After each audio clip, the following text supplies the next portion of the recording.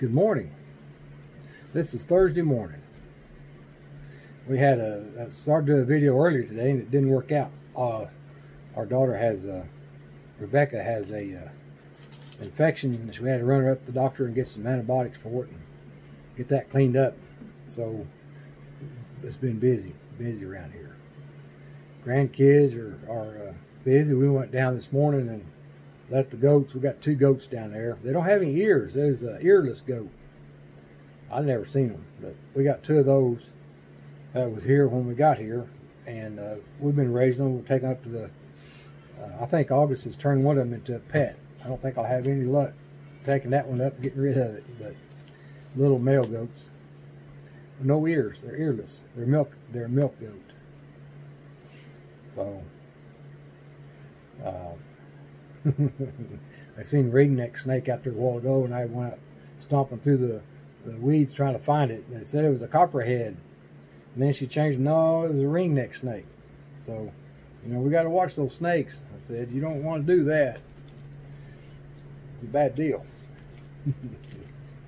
All right, today we got Philippians 120 I've been working on.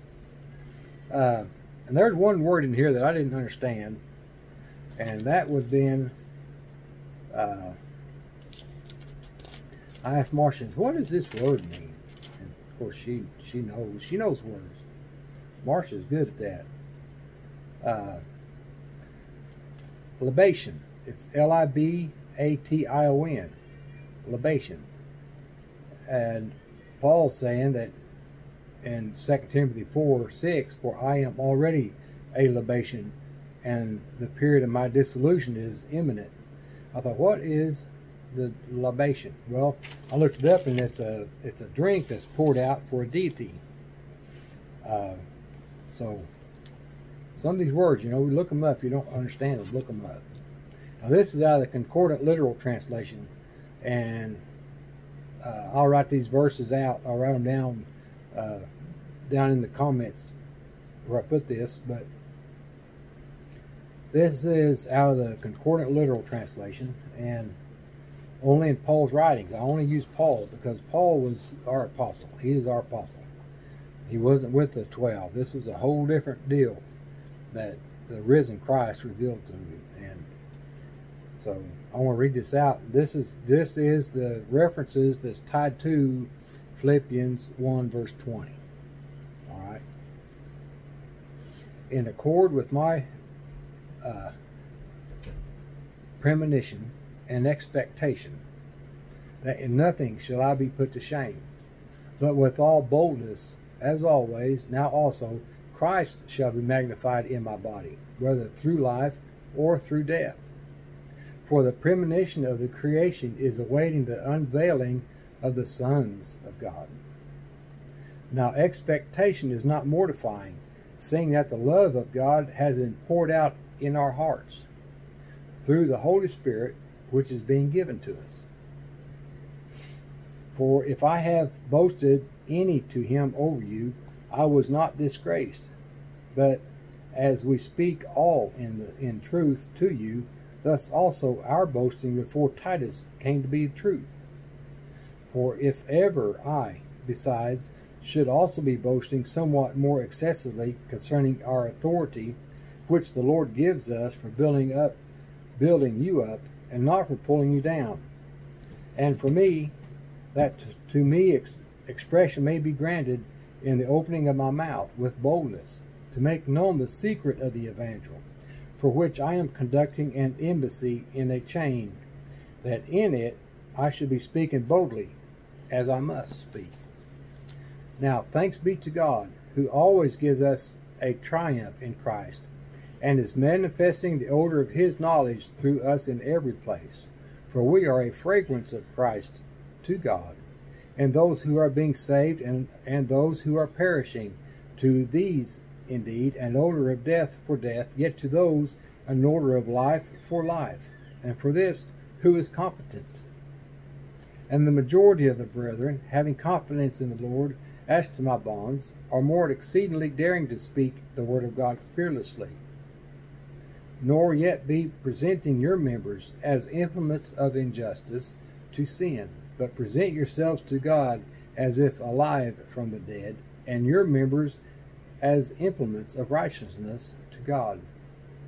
As a man am I saying this, because the infirmities of your flesh. For even as you present your members as slaves to uncleanness and to lawlessness for lawlessness, thus now present your members as slaves to righteousness for holiness. I am entreating you then, brethren, by the pities of God, to present your bodies a sacrifice, living, holy, well pleasing to God, for your logical service divine, or divine service. For you are bought with a price. By all means, glorify God in your body.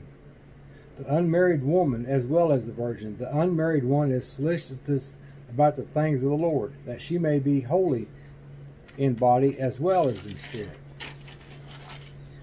Yet she who marries is solicitous about the things of the world, how she should be pleasing her husband.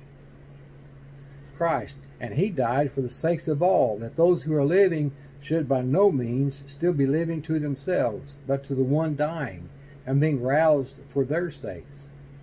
But even if I am a libation on the sacrifice and ministration of your faith, I am rejoicing myself and rejoicing together with you all.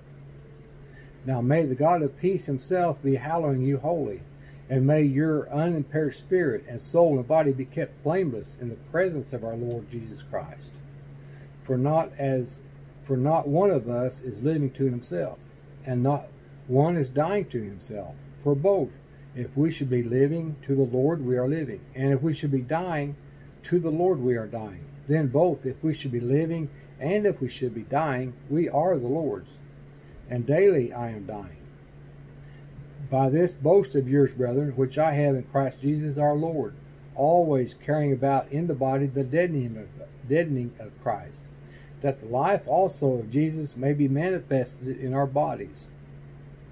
Yet I am being pressed out of the two, having a yearning for the solution and to be together with Christ, for it, rather, is much better.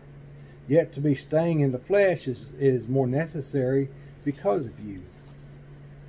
I am now rejoicing in my suffering for you, and in filling up in my flesh in his stead the deficiencies of the afflictions of Christ for his body.